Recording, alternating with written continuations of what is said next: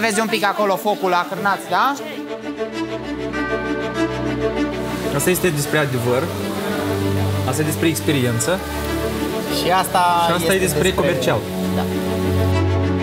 Sunt Victor Grosu. De 20 de ani creez restaurante și am făcut parte din istoriile a sute de antreprenori. Mi-am propus să răspund la o întrebare. Cum creez o afacere de succes în industria restaurantelor? Eu stau afară și zic bună ziua și nu am niciun fel de așteptare să vină înăuntru. Dar îi zic bună ziua, ca de pe stradă. Zeci de povești care merită auzite. Fiecare episod aduce câte un ingredient esențial în rețeta unui restaurant de succes. Food Dreamers este despre drumul de la dorință la succes.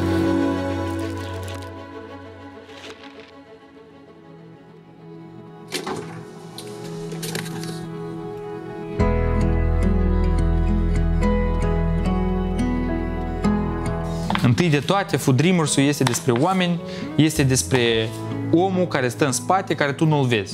Deci istoria lui trebuie să fie auzită. Da, noi vedem vedete, vedem bucătari vedete care stau în față, dar ei sunt doar 10% din cei care noi vedem. Am creat foarte multe restaurante de succes, am luat premii, uh, mai multe categorii, așa, restaurante nou deschise sau restaurante mai de clasă. A fost declarate numărul 1 în România. Și creând aceste restaurante mi-am dat seama că 6 din 10 care vin nu știu în ce să bagă. De aia, ca să nu mai completăm statisticile alea de 70-60% din locații care se închid, am făcut food dreamers.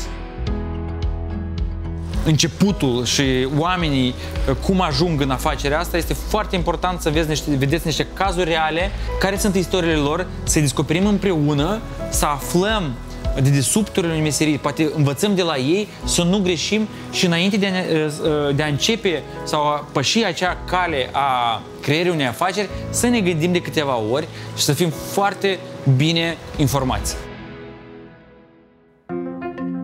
Istoriile sunt într-atât de faine și sunt interesante. Uite, de exemplu, am cunoscut o familie de la restaurantul Meditera, care efectiv a fost în afară ani de zile, a lucrat în tot tipul de hoteluri, restaurante și a ajuns sus, sus, sus de tot, dar la final a renunțat la toate astea și a venit în uh, Brașov, în România, să deschidă un restaurant mediteranean. Wow!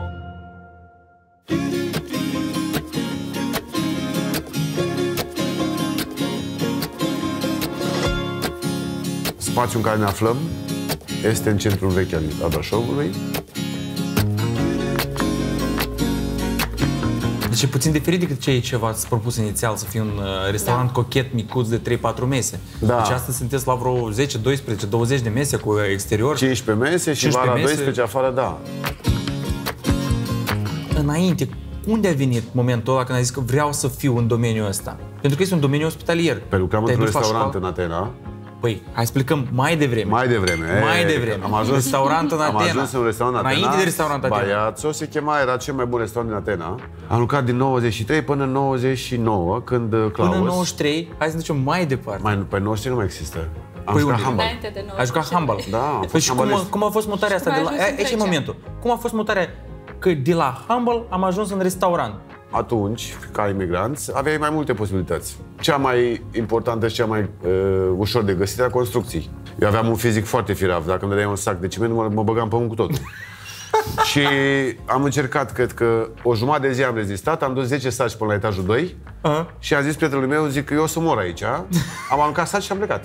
Ei, și am început în bucătărie, la oale, oale mari. De deci ce? ai început efectiv de la... De jos, mai jos nu există. Mai jos decât no. spălătorie, da. bucătărie... Dai cu motor, dai cu mopul, oale mari, erau două oale în care intram și eu, cu totul. Deci ai ajuns acolo din necesitatea și din nevoia de a... De a mânca, da. De a mânca. Bineînțeles. După aia la tigăi, deci la spălătorie mai ușoară. După aia la mise plas pentru bucătăria de sus, bucătăria de sus, bucătăria de jos. Fă-mi o cremă custard, fă-mi aia, fă aia. Deci efectiv ți-ai construit gândirea, Etape, gândirea pe etapă cu etapă și ai completat cărămidă cu cărămidă, cărămidă, până ai ajuns în momentul, ok, în care poți să le faci. facem afacerea, îmi fac afacerea mea. De asta e foarte important ca dintr-o echipă noi să fim capabili să facem tot. Uh-huh. De la zero. Deci dacă noi mâine pleacă toți de aici, toți, toți, tot, tot echipajul. Tot. Voi în doi vă isprăviți în doi. Noi în doi. Eu în bucătărie, pe service și spunem, noi astăzi luăm trei mese, Luăm trei mese. Luăm facem trei mese, ce putem. acele trei mese servim, restul nu primim pentru că nu putem mai mult și ne ocupăm de La bucătăria. nivelul capacităților, posibilităților, deci, Exact. deci voi vă, cumva vă Ne comple- completăm, dar... Păi trebuie, nu cred că există E un altă business de posibilitate. familie la voi. Da, până la 100%. urmă da, și nu avem nimic, uh, nu este nimeni altcineva implicat. Dacă noi nu mergem la marfă și nu cumpărăm, nu avem. Dacă nu stăm afară să spunem o bună dimineață la un client, eu stau afară și îi zic bună ziua și nu am niciun fel de așteptare să vină înăuntru, dar îi zic bună ziua, ca trecut pe stradă. Unii zic bună ziua, unii se uită așa, alții merg mai departe, nici măcar nu se răspund, alții zic bună ziua, ce aveți voi aici? A, ești al meu, haide. Și încep și explic. Noi ne-am luptat când am deschis, wow, aveam trei mese, eram deja fericiți. și s-a ajuns la nivelul în care ești zi de zi aproape plin, în care trebuie să te gândești ce să mai aduci în plus. Pentru că noi am avut clienți șapte zile sau opt zile la rând aici. După amiază și cină. E, a șasea zi trebuia să te surprinzi. că îți luase tot ce înseamnă pește, tot ce înseamnă fructe de mare, îți dai seama, 3-4 persoane șapte, de șapte zile, nu mai vei să le mai vinzi. Ei, și atunci improvizai.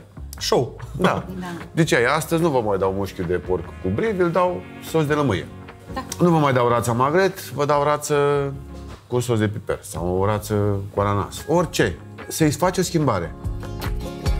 cât efort se depune, câtă muncă se depune ca să servești acea farfurie cu calamar în stil grecesc la masă Da. și cât se întâmplă și câți ani ai în spate ca să ajungă aia în, în echilibru perfect ca la ea acasă, acolo.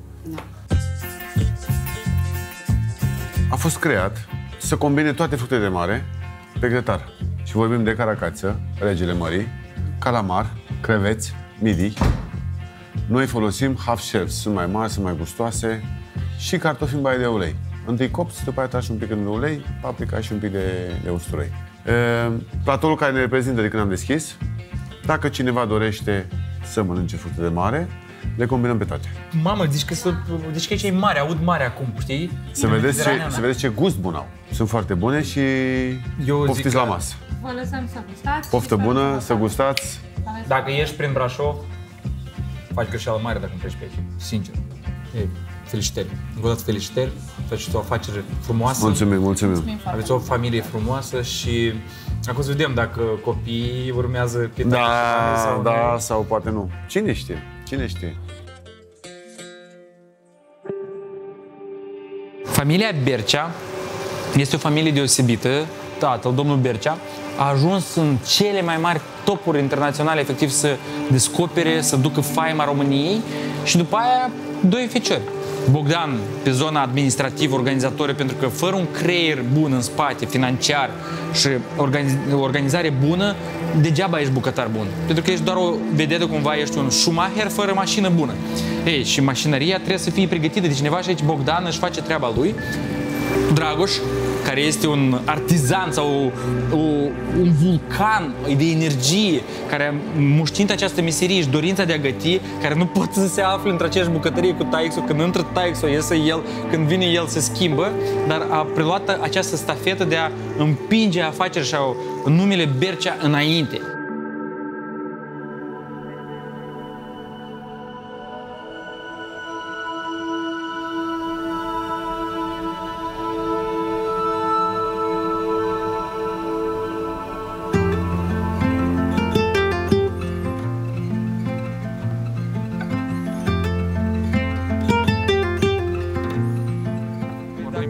Mai devreme. Zăpada am avut anul ăsta, cred că două, ultimii 10 ani n-am avut așa zăpadă, nu? Și a zăpadă, da, cam ultimii 5 n-am avut.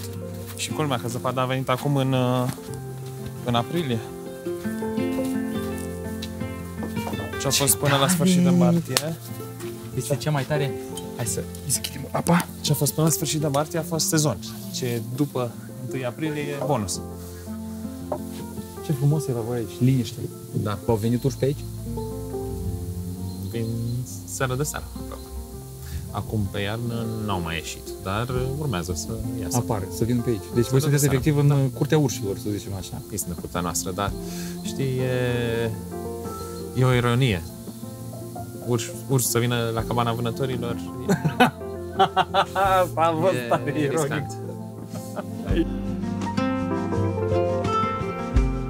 Efectiv efectiv te-ai născut uh, de mic copil fiind uh, în jurul bucătăriei, în jurul... Mai sau- mult Dragoș la Mai mult bucătărie. Dragoș. Eu... Dar cum? La, aici, e- aici, în e- bar și între în hârtii. bar Și în hârtii. Aici ai crescut la propriu? Aici ne-am născut și eu și Dragoș. Aici ne-am născut. Uh, Eu în 88, Dragoș în 90. După aceea, după 90, uh, mama fiind administratorul cabanei a trebuit să o predea. Au lucrat în Predeal, am rămas în Predeal o perioadă, după aceea ei au plecat în Germania, Elveția, la o specializare. Uh, Am uh, stat cu bunicii la Zărnești, după ne-am mutat în Brașov și în 97 după ce am renunțat la un restaurant aici, ce îl aveam la DN1, venise proprietarul, am avut posibilitatea să alegem între cabana vânătorilor și șoplea vechi și automat ai mi-au ales cu inima cabana vânătorilor. Au revenit după șapte ani. Au fost în afară, au fost da, plecați. da. Și am preluat, treptat, treptat, a devenit a noastră. Și asta cum? A fost transmis prin ADN sau uh, cum, cum uh, Sincer, a fost alegerea noastră. Adică m, ne place ceea ce facem atât mie și- cât și lui Dragoș și am decis, mă, rămânem în domeniul ăsta. Că nu e ca exemplu clasic. Dacă părinții sunt doctori, copilul trebuie să fie doctor. Nu, asta am ales, asta am vrut, de aceea am ales și pe o facultate economică. Adică și tranziția asta se face treptat, adică deciziile vin treptat, în, ne consultăm în continuare, dar automat afacerea trebuie să meargă spre o modernizare. Pentru că este o diferență între generații. O să observi mai târziu în discuția cu tata și cu Dragoș, gândește-te că eu sunt la mijloc. ești între două Da, tunuri? da. Efectiv. și Eu cred că ești partea cu echilibru. da, sunt o persoană calmă de fel. Păi mă, ce, dacă mă uit uh, la Dragoș, care este un vulcan, tu la noi ești Da, da, da. liniștea mării. E, Da. Efectiv, Nu aer- stres. No stres. Dar știi că singura persoană care mă poate enerva cu adevărat e frate. Băi, am văzut, știu, că așa am văzut, îmi dau seama, pentru că la mine la Și el știe. Da, da. Păi, la mine, la mine la Dar e fel. reciprocă, adică și eu știu unde să calc pe coadă. Am trecut bine perioada asta, dificilă, putem spune, adică am rămas pe picioare, ceea ce dă dovadă de o maturitate a afacerii. Și considerăm că dacă am rezistat un an, un an și două luni, mai așteptăm, nu știu, două, trei luni și ne revenim. De aceea vrem încet, încet să dăm o nouă față cabanei și să ieșim din nou pe piață cu un produs înnoit.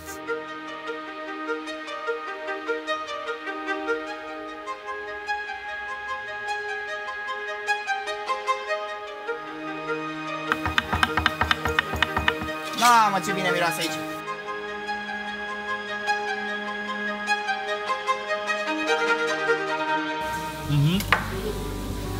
Sunt trei categorii de gătire. Da. Deci, sincer, mie mi-a plăcut varianta asta și asta. Da. Asta deja se simte prea intens gustul de vită și nu mai e. Asta este despre adevăr. Asta e despre experiență. Și asta, Și asta este e despre comercial. Da. Nu? Exact unde, ce... unde ești tu? Eu sunt aici. În experiență. Am înțeles. Da? Eu n-am fost niciodată aici. Sunt doar când este cea mai mare nevoie de mine. Dar oricum, uh, spiritul și sufletul tău este aici. Spiritul este aici, da. Și și ei simt asta și și eu simt asta. Adică și eu îmi las spiritul aici, dar și ei uh, trăiesc cu el. Sincer, te-am văzut în diferite situații, dar în situația asta, dragă, știu, te văd pe tine. Deci azi, în momentul ăsta, exact acum 10-15 minute, te-am văzut pe tine în acțiunea ta, unde tu te regăsești și fericirea în ochii tăi, efectiv, sclipesc. Știi? Și ești tu, e adevărat aici. Da, Deci eu pentru văd că că tu aici te încarci cu energie. Da. Deci nu e lucru la tine aici. Uh, Eu în București fac proiectele mele care sunt uh, diferite și care mă consumă foarte mult și unde muncesc foarte, foarte mult, dar când vin aici eu efectiv mă joc. Deci facem plăcere. Și fac oamenii să se simtă bine și cu asta mă încarc cel mai mult.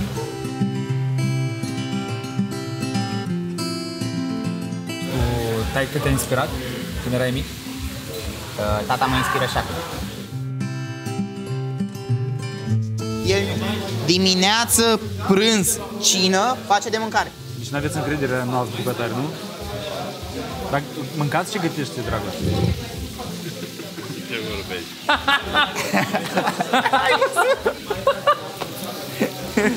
Mi s-a făcut general răspunsul. Deci fii atent, să-ți spună tata la Zărnești cât era masa de mare în bucătărie și pe ce fel de grătar mâncam toți și ne săturam și era cea mai frumoasă masă. Era un grătar care intra în sobă, cum e acolo. Deci vezi găurica aia de la Atâta, sobă? Deci era un grătar de... Așa aveam un grătar. Puneai două fripturi pe el, de Aveam masa care avea, nu știu, cred că 80 de centimetri pe 60. Stăteam toți, Masa într-o casă, normal. mama, tata, bunicii amândoi, eu cu Bogdan. Stăteam, mâncam, venea, ne punea pecie pe grătarul ăla. Cârnați afumați, slănină și mâncam murături aduse din... Și uite, la ce ne-am întors? Tot acolo. Deci făceam în casă, Cred acolo. că nu degeaba că Bine. stai aia. Vezi? Nu? Să vezi focul.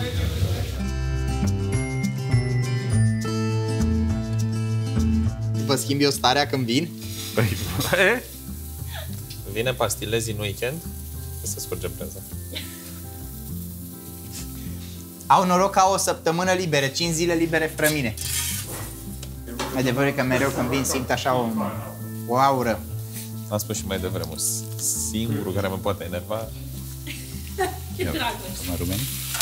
Le-ai zis și lor? da, Le-ai am spus? recunoscut.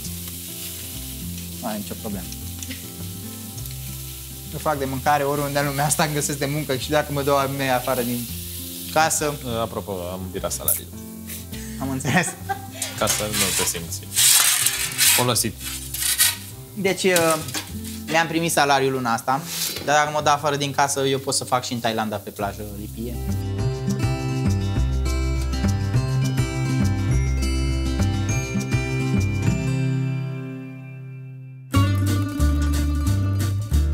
Ala, am cunoscut-o, e ceva, deci uh, unul dintre cheile succesului pentru ea a fost să găsească un acel comfort food, acele bolsuri, efectiv, biluțele alea care sunt wow, demențiale, cu sosuri diferite. Ea a pornit o afacere mică care în pandemie a știut o creștere, a cunoscut o creștere deosebită pentru că oamenii au descoperit finger food-ul, livrarea, delivery și s-au reorganizat, a crescut și este povestea aia când sunt foarte mulți prieteni alături care te împing și da, este o istorie de succes care merită auzită și înțeleasă.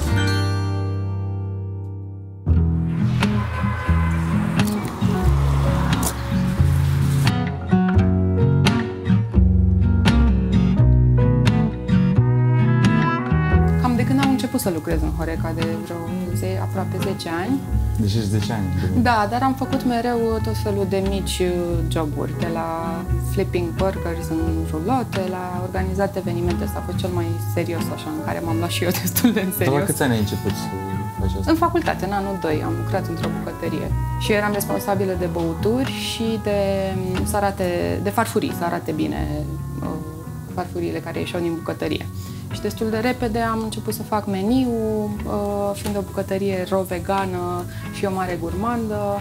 Uh, am adăugat niște ulei, niște condimente și devenea mai bună mâncarea și asta a atras atenția, așa că am devenit responsabilă de meniu. A fost o poveste așa foarte uh, Deci asta a fost Da. începutul tău, efectiv Da, uh, da, da. să faci cunoștințe. În facultate, eram în facultate, studentă, eram efectiv studentă, ai da. început să cunoști meseria, să intri în bucătărie, ai intrat efectiv în bucătărie. Da. A urmat tot felul de joburi. O perioadă destul de scurtă în care am zis că eu nu vreau totuși în restaurante, nu vreau în bucătărie, vreau să am manicura făcută, să uh, lucrez cu capul, să stau la laptop eventual, să cunosc cu oameni, dar în niciun caz în bucătărie, să miroasă părul, să... wow, ce naivă! și... Se pare superb. Și asta cu chiftelele, de fapt, mi-a venit uh, în, în Italia. Eram într-o vacanță în Italia, unde mă tot gândeam, începuse să se, să se înfiripe acest gând, uh, să deschid eu ceva, să fac eu ceva. În Italia a fost prima oară când am mâncat la un restaurant cu două stele Michelin, am mâncat și la osteria uh, Gucci, unde era sous-șef, uh, sous-șeful lui Massimo Bottura. O... Și mi-au plăcut foarte mult, dar nu e filmul meu. Că ce îmi place mie, de fapt, ți-ia na, prea după mult două timp până săptămâni de Italia, uh, erau colțurile alea de stradă în care se întâlneau oamenii din cartier și unde, ce să vezi, mai erau și câțiva turiști, pentru că pizza aia sau panini ăla sau ce era, era atât de bun că le descopereau și uh, turiștii, chiar dacă nu erau acolo primele pe TripAdvisor, știi? Și, și asta mi-am dorit uh, să fac, dar nu știam produsul. Și am mâncat niște chiftele la un restaurant într-o seară, random, și am zis, "Uh, atunci mi-am amintit-o și pe maica mea, mi-am amintit și de meatball Deci saburile ăsta a fost din momentul în filmele care tu americane. efectiv ai gustat și ți-ai dat seama că ăsta e produsul despre care eu... Mai a fost un pic, a fost, adică n-a fost ca într-un film, dar a fost destul de aha în uh, vreo două zile în care mi-am dat seama că uh, nu mă mai, că sunt într-o excursie romantică, frumoasă, uh, Toscana, superb, Iața. uh, și eu la altceva nu mă gândesc.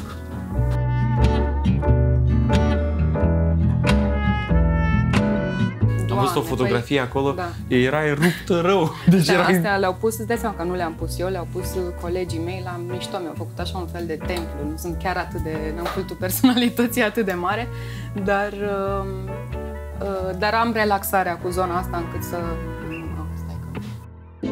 Din momentul în care tu ai înțeles zvâc Mhm. și până astăzi când tu am înțeles că deci 200 de cutii pe zi câteodată, nu? Sau porții, pot să zic așa, există așa cifră Mhm, da. în zona asta? Acel driver sau acel, acel ce te-a împins pe tine atunci, el astăzi mai este în tine? Deci te E mai ține? mare, e mai mare. E mult mai mare, deci tu Da. efectiv ai primit forță mai mare, nu? Da, da, da. Uh, iar asta cu, uh, cu, cu Balls, că numele a fost așa instant, uh, la fel de... Tot, tot, încă eram încă în Italia și nu aveam business plan, nu știam că se cheme Balls.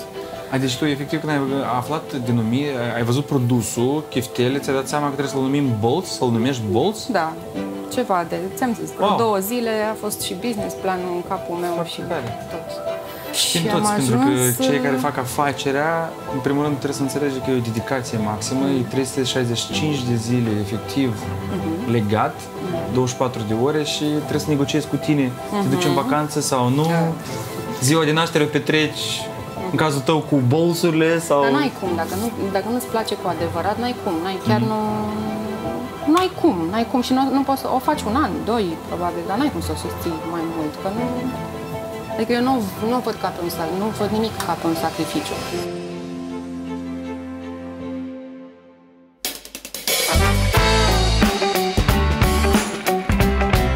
Pickles. Haideți să aflăm istoria Pickles. Deci am cunoscut-o pe Alexandra, care a venit cu un concept foarte fain, care a venit după o beție. A văzut o nișă în care după o mahmureală, să zicem așa, că ești mahmur de o beție, îți vine să mănânci lucrurile alea, știi? De pickles, știi? Și atunci ce a creat? Cât o afacere.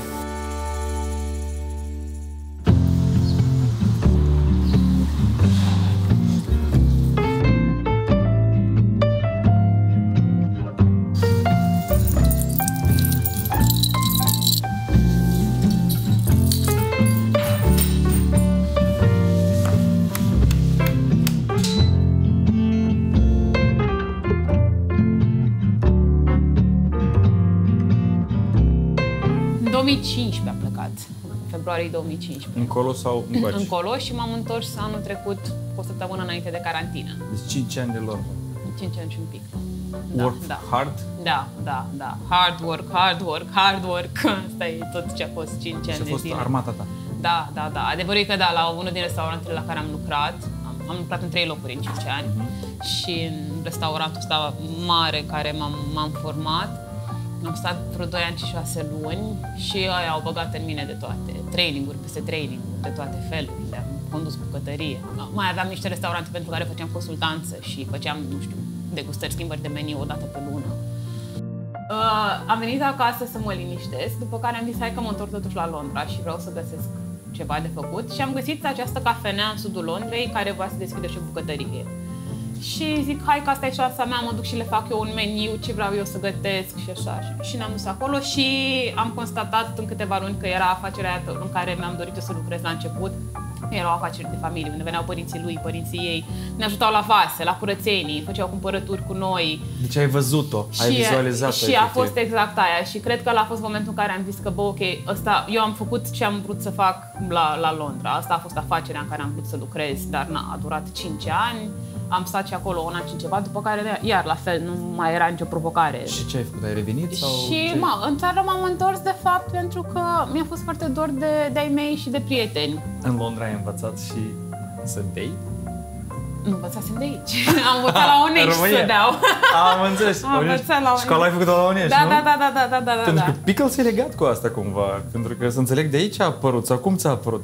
Poți să povestești puțin? Păi da, locul ăsta a apărut așa dintr-o nevoie. Am uh, gătit anul trecut în carantină la, la ala, la Bolt.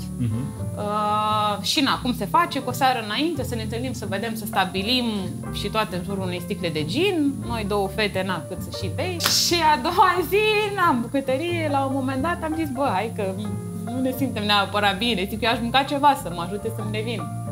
Și am zis, am mâncat niște murături prăjite și cu un grill cheese, așa, și să-mi curgă grăsimea pe față când muși. Și toată lumea era murături, ce? Zic, murături prăjite. Nu, nu, prăjiți murături? Zice, nu, lasă că prăjesc eu. Și a Cum apărut toți Pickles. bețivii din București, mulțumesc. A devenit salvarea, efectiv. Da, exact, e foarte multă lume care vine aici și zice, "Ă, noi am băut aseară. Perfect, bine ați venit.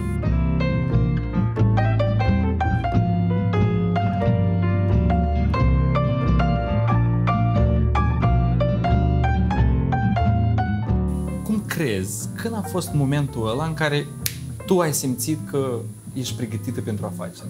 Am văzut spațiul ăsta și nu mi-era foarte clar unde, nu reușeam să-mi dau seama de pe hartă unde este. Și m-am urcat pe bicicletă, am venit aici. În momentul în care am intrat aici, m-a trecut o chestie de aia, de sus până jos, așa, pe tot corpul. Nu știu să-ți explic. Și dai că mi stă foarte aproape, el venise cu mașina, eu eram cu bicicleta și am zis, hai să ne trecem până la tine acasă. Eu, atâta creier am avut, el, na, era în mașină, își vedea de treabă. Și deja mă gândeam, vedeam locul, știam, neon, vreau neon, vreau perete așa, vreau aia, vreau aia și m-a lovit mașina în intersecție pe bicicletă. Și am zis, ăsta este semn că trebuie să luăm spațiul ăsta. Faptul că m-a lovit mașina pe bicicletă este cel mai nasol lucru care o să mi se întâmple în toată povestea cu spațiul ăsta, pentru că așa am văzut eu semnul, nu ca pe o chestie de, bă, nu fa asta, știi? Și nu o să se întâmple nimic mai nasol decât ce mi s-a întâmplat acum, ceea ce oricum n-a fost nasol, mama m-a lovit un tico. Oh, ok. și m-am zgâriat un pic pe picioare și atât și am strâmbat-o pe Roza.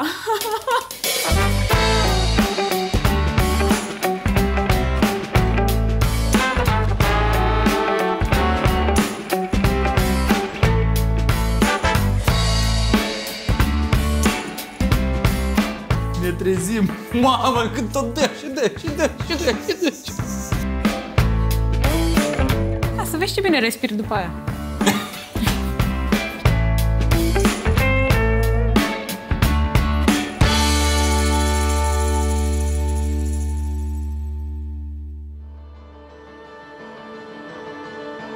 Deci încheie această filmare cu ceva foarte interesant. O experiență deosebită. Acum 2 ani m-am apucat și m-am gândit vreau să fac un uh, mini-serial despre cum să faci o afacere de succes în România. Nici nu m-am gândit câți oameni faini, interesanți voi cunoaște. Nici nu m-am gândit că nu rezultatul final este important, dar însuși parcursul este demențial. Și eu sper noi împreună să ne pornim la acest drum, să aflăm, să înțelegem cum să faci o afacere de succes, cum să străiești visul. Urmărește-ne pe Instagram, pe pagina de Food Dreamers, urmărește-ne pe YouTube, fii alături de mine și fii și tu un Food Dreamer. Sunt Victor Grosu și acesta a fost începutul.